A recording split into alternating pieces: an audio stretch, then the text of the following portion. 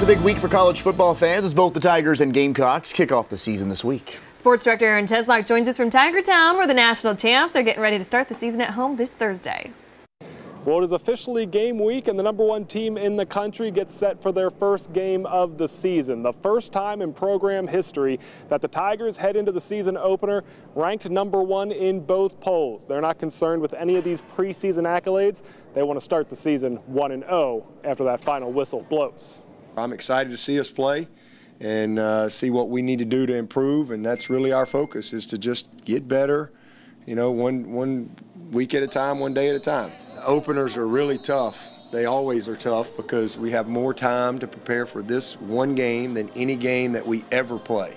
Because uh, this has been looming for a long time now.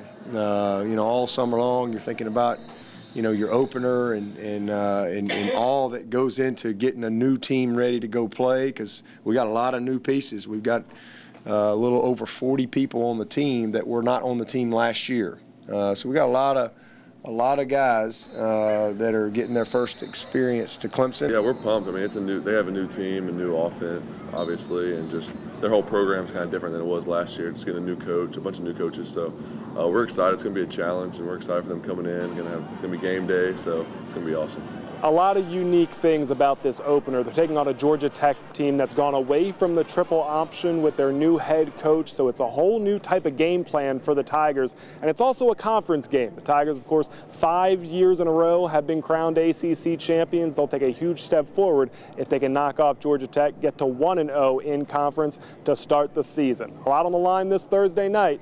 The Tigers say they are up for the challenge. In Clemson, Aaron Cheslock, Fox Carolina Sports.